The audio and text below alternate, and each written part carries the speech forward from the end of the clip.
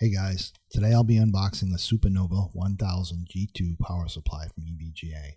We'll use the power supply in a build of a Xeon workstation for video editing. So, um, what's this? Wow. so there's a bag, I guess, uh, for storing cables that aren't immediately used in the build. Amazing. Yeah, uh, it has all the cables we'll need, motherboard, drive, CPU. There's also a set of red cables in the box. Uh, so, um, so the PCIe cables are color coded. This gets better and better. Um, the unit will power a video editing workstation that will eventually house dual Xeons and a pair of um, 980 Ti video cards. So I went with a 1000 watt power supply to make sure there was plenty of juice. The Supernova, it's um, a modular power supply. So what that means is that the cables are attached to the uh, power supply using a plug-in socket system. Uh, let, let, me see. Um, it's sort of like the power in your home. So your fridge isn't wired directly into your house. You plug it into a socket in the wall. You can plug it in, but you can also unplug it when you get a new fridge.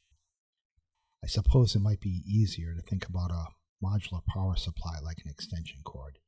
You only uh, add the cables you need, so you don't end up with a lot of useless cables cluttering things up. Of course, if you look inside a power supply, you, you'll see that it's actually a very complex electronic device. It's way more involved than an extension cord suggests, but for the purpose of understanding modularity, extension cord is probably a reasonable metaphor.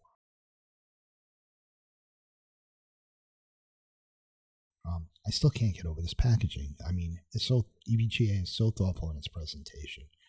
This is just a power supply. This is not the sexiest component by any means, but this packaging makes me feel like I purchased something remarkable.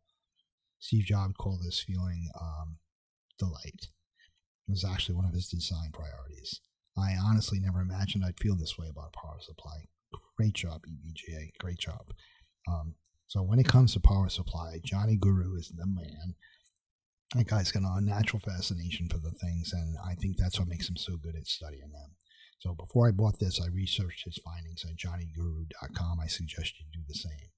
Anyway, he gave this power supply a solid A rating with a 94%.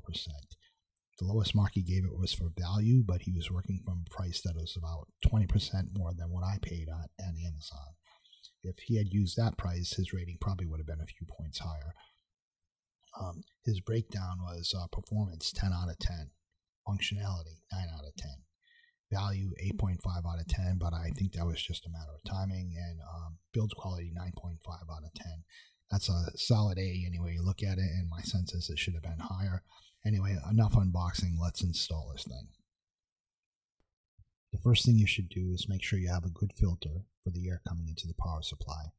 The uh, Corsair 760T case that I'm using for this mid-range build has a good filter.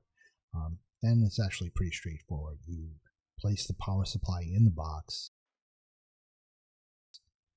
You tighten down the screws plug in a few cables.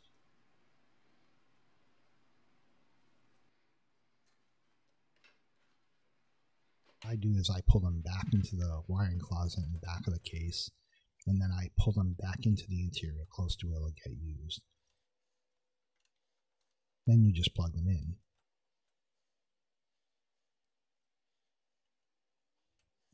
Each cable is marked um, on both ends, so it's pretty easy to do.